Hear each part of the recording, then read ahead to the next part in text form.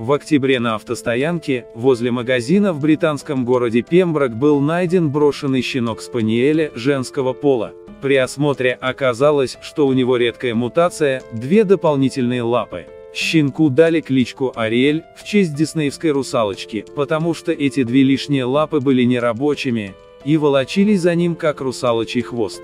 Помимо двух лишних задних лап, выяснилось, что у Ариэль еще и двойная половая система.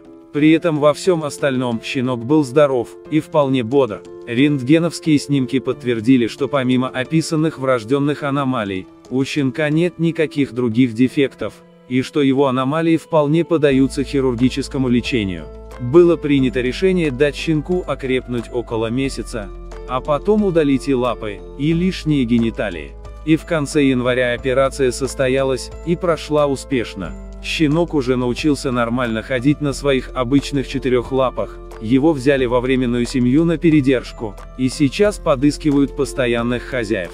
Вот и вся история не забывайте подписаться на канал и нажать колокольчик, чтобы не пропускать новые истории спасения.